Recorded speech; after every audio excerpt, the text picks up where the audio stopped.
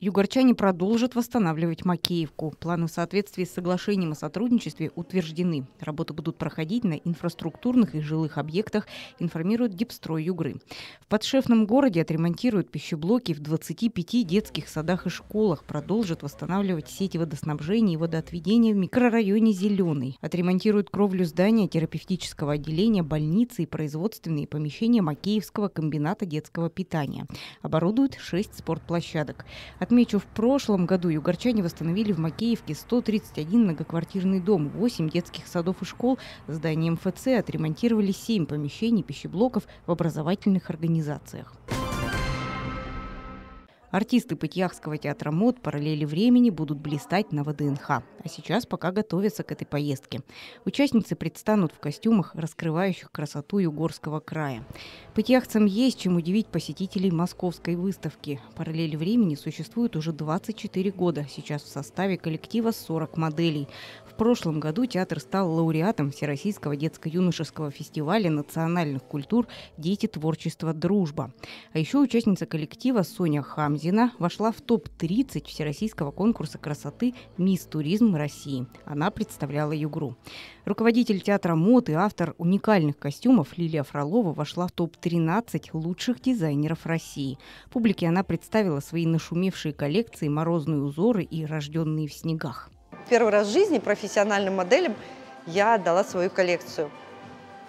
Очень, конечно, стеснялась, думала, сейчас избалованные модели скажут, боже мой, там коллекция сделана в каком-то небольшом городе, но это было, конечно, незабываемо. Незабываемый опыт, знаете, когда все творческие люди, которых которые прошли отбор тщательный. Там были реконструкторы, которые по историческим лекалам, э, по историческим меркам создают костюмы. Э, был, конечно, были люди, которые, которых костюмы стоили только там по 500 тысяч одно платье там, с настоящим серебром. Прошлом году Лилия Фролова выиграла грант губернатора, который вложила в создание новой коллекции костюмов под названием «Трансформер». Ее представят пытьяхцам в 2024 году. До показа осталось несколько месяцев. На этот период у дизайнера и ее воспитанниц запланирована поездка в Москву на ВДНХ. Ученики шестой школы Кагалыма примеряют профессию журналистов. Уже полгода здесь действует свой медиацентр. Учащиеся ведут школьные соцсети и рассказывают о внутренних событиях. Причем каждую неделю ребята пробуют новую специальность. Стать журналистом, оператором, режиссером может каждый из них. Правда, пока, как признаются участники проекта, их творческие возможности ограничены, не хватает оборудования. Исправить ситуацию поможет конкурс инициативных проектов от администрации города. Школьники уже заявились на участие участие?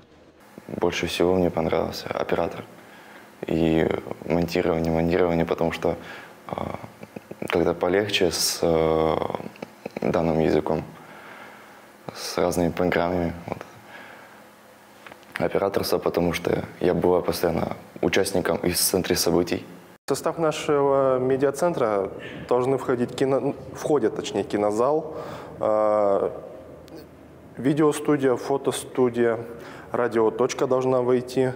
Но радиоточки у нас нет, потому что ну, ну, нужно покупать оборудование, соответственно. Видеостудии у нас не хватает оборудования, то есть нам нужно камеру закупать, хромакей, э, пульты. Ну, все, соответственно, все для хорошего, качественного контента.